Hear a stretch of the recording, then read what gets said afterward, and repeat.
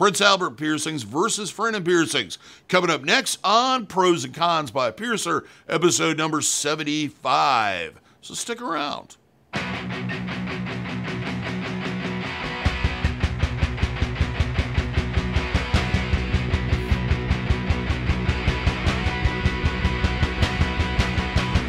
For those that are new to the channel, my name is DaVo. I'm a professional body piercer and have been since 1994. I own and operate the Axiom Body Piercing Studio, located here in Des Moines, Iowa, inside Skin Kitchen Tattoo. So, when I talk to you about these things, I'm talking to you with a level of expertise as someone who's been in the industry for well over 26 years and has done a lot of these piercings.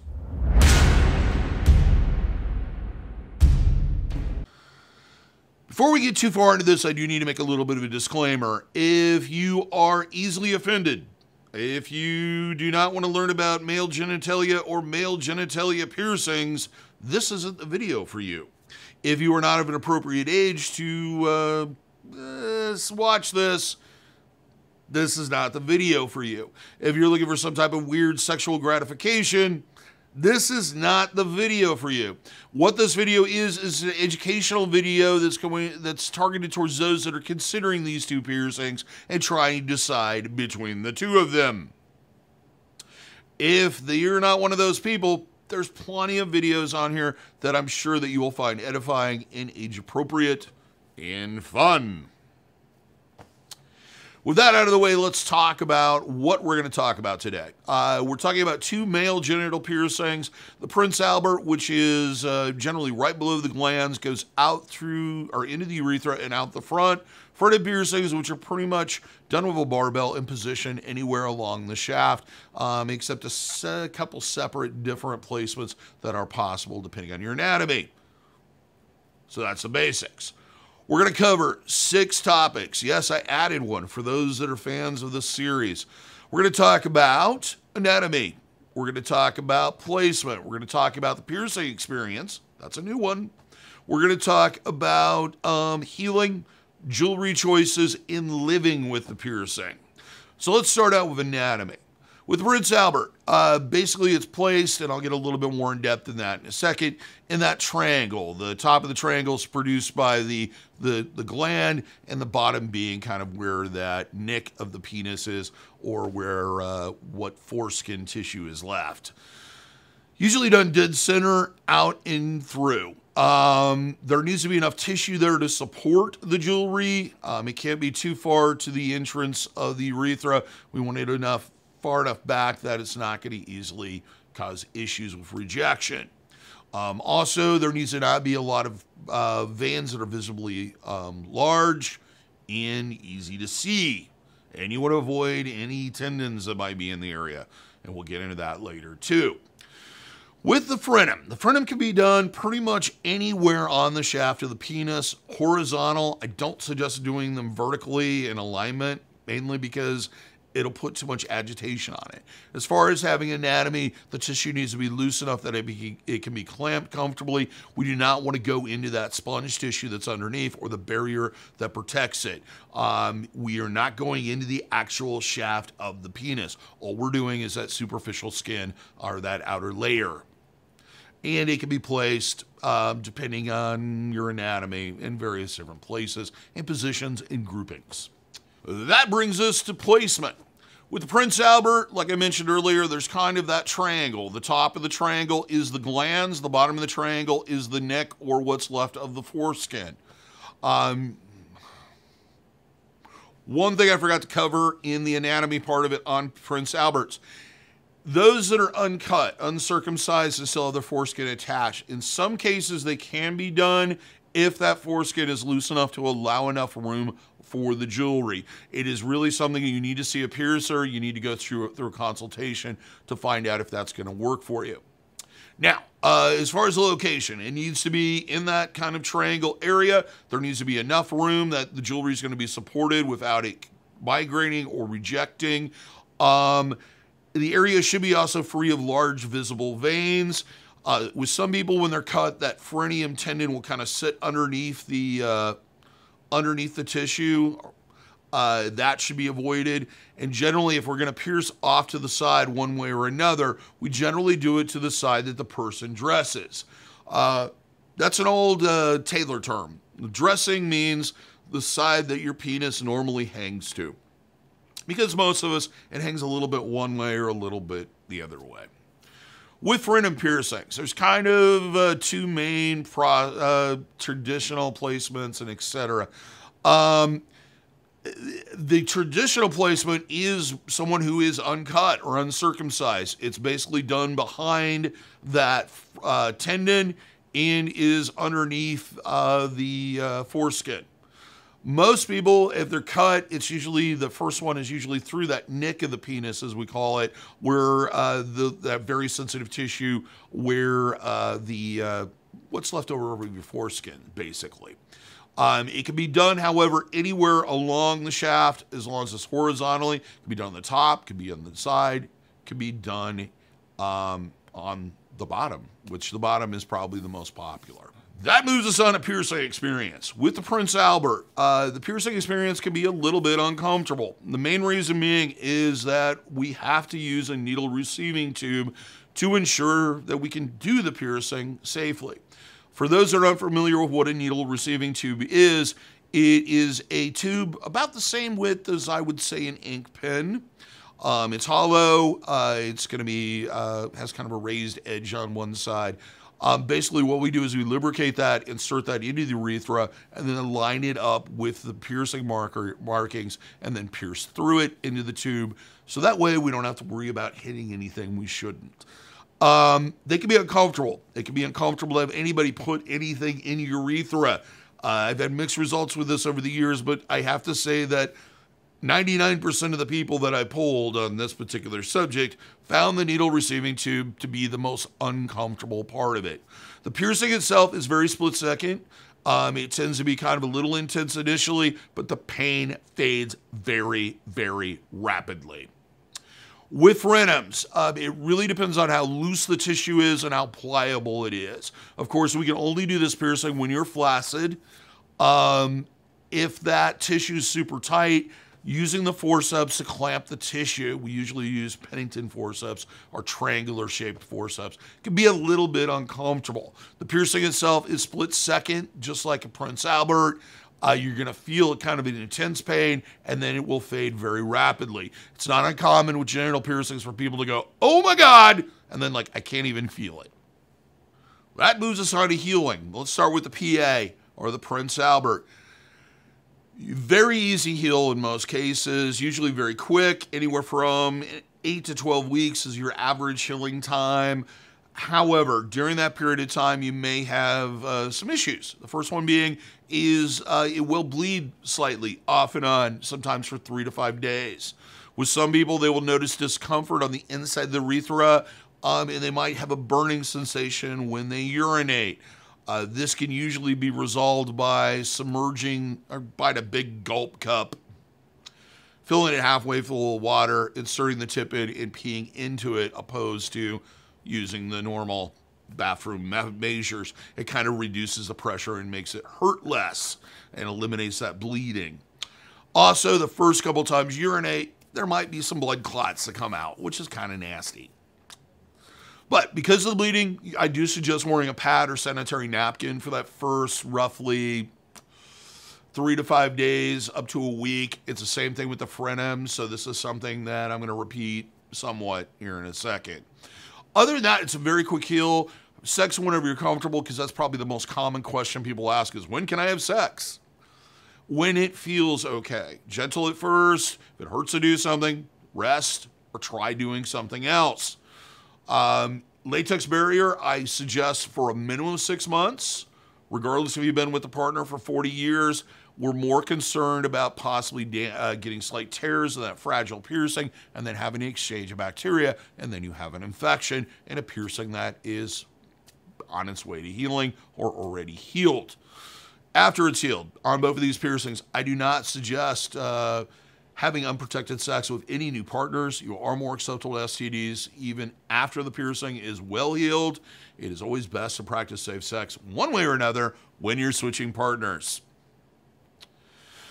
That moves us on to healing the frenum. Uh, frenum's not usually as complicated. You don't have the burning or burning sensation in the urethra. You don't have as many issues with that. They do bleed usually, spot bleed anywhere from three to five days. Most people not noticeably as much as say the PA. Um, quick heal, roughly about eight to 12 weeks. Of course, the things with safe sex and sex apply to it too. That moves us on to jewelry choices. With the PA, I generally suggest piercing initially with a circular piece of jewelry, whether it be a ring or a circular barbell. The reason for that being is that they are lighter, they cause less stress on the piercing. Also, they give you kind of a little bit of a buffer room when you become erect that it doesn't extend beyond the length of that jewelry. After it heals, it isn't a problem to switch out to a curved barbell. You just want to make sure that it's fitted in size when you're erect and you have a little bit of uh, looseness there.